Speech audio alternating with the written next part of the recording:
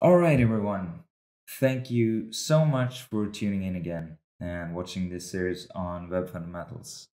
I really appreciate it, and I am doing my best to try to deliver this content in a manner that I think is easy to understand and approachable. And now we've been through servers and HTTP and dipped our toe in the water a little bit, so to speak.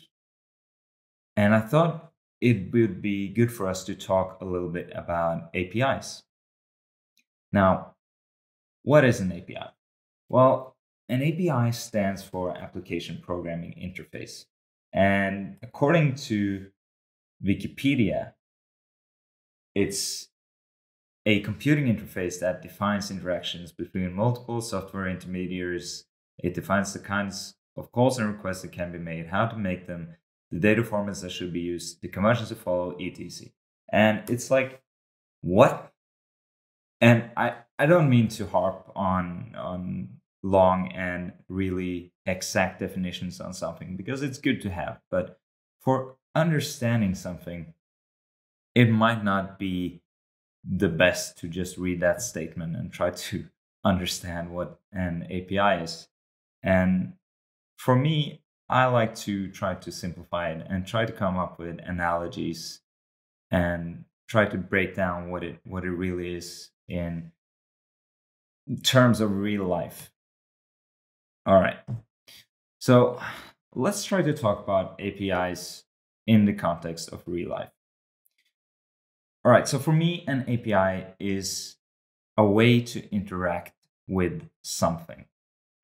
And if we take that over to real life, then let's think about what happens when you go to, for example, a grocery store.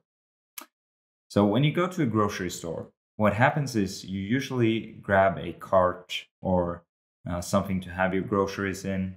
You walk around the store, you find your groceries, you put them into your cart, and once you're done, you go to the counter and you pay for whatever it is you want to buy.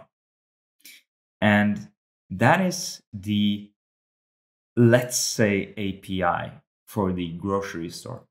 That's the way that the creator of the grocery store has decided is the best way to interact with that store. They could have done it differently. They could have said, We are going to take a truck and we are going to drive that truck from door to door and we're going to try to sell our goods.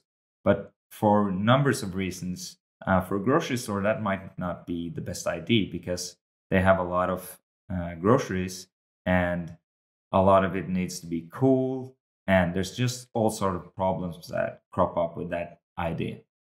Now you have other businesses that do this for example an ice cream truck. So the api for an ice cream truck is that they actually go uh, door to door and try to sell you ice cream so the main point here is that the api is created um, by the owner of the um, business, or in the context of programming, the owner of this server. And it's basically a, let's say, map that defines how you interact with that um, business or server. So we are talking about APIs in the context of real life here, but APIs is a um, it's it's um, it exists in the world of code.